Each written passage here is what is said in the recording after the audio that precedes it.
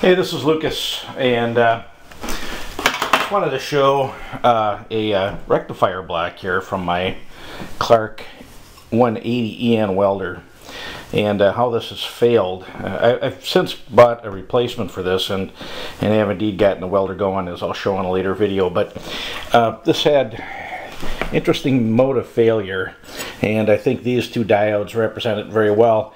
The uh, actual connection is popped off of these so there's a gap there and uh, there's a uh, gap on, on this one uh, right here. Here we go. Uh, so they actually came loose and I'm thinking they were I'm, I'm guessing that if one fails, then the others probably cascade in a, in a failure mode. There's another one right there. This one just had failed too.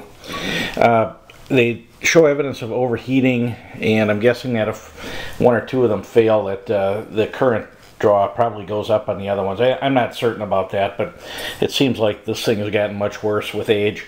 Anyway, this was dated uh, 05. I'm guessing this was uh, put together in uh, April of 05. Uh, Clarke is a uh, uh, welder that is made in Italy, so uh, Aprile 05. Uh, anyhow, I've, I've replaced this and the uh, welder works well. Uh, just a comment on uh, you know taking it apart and uh, getting the uh, you know getting all the wires back in the right spot. It was actually quite easy. Uh, there's a, a, uh, thermal switch that goes here and uh, three of the you know I'm guessing that this is the ground.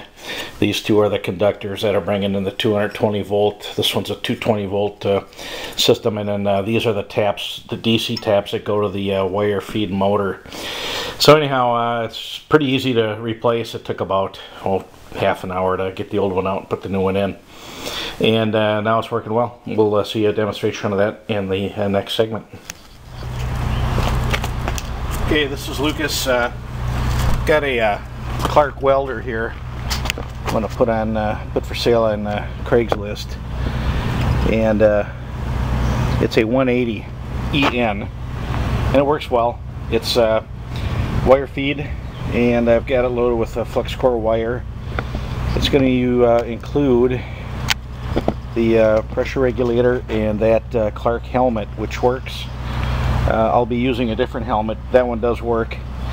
Uh, the reason I'm using a different helmet is I've got a diopter adapter in this one and I'm, I'm pretty old. I'm 53 so I'm not seeing as well as I used to.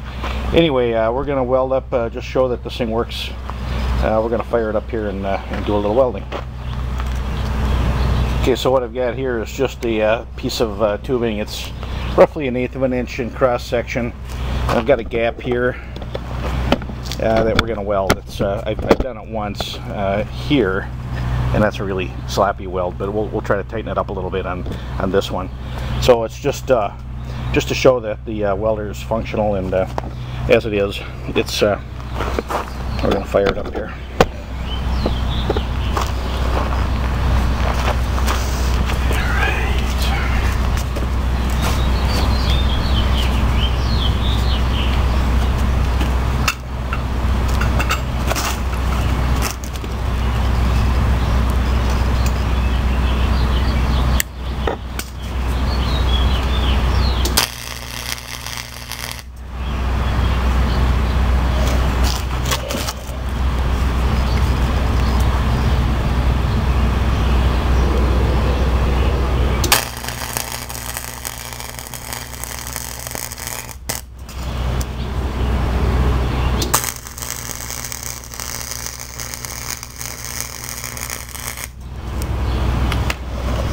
So there's the uh, welder in operation and uh, actually laid down a pretty nice bead on that one. We'll uh, try to show it here.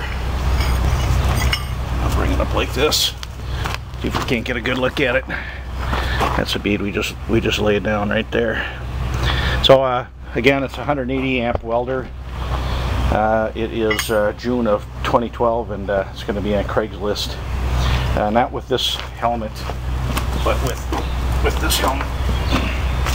That's part of the deal.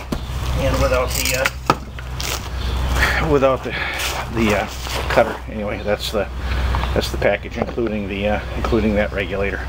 Okay, this is Lucas signing off.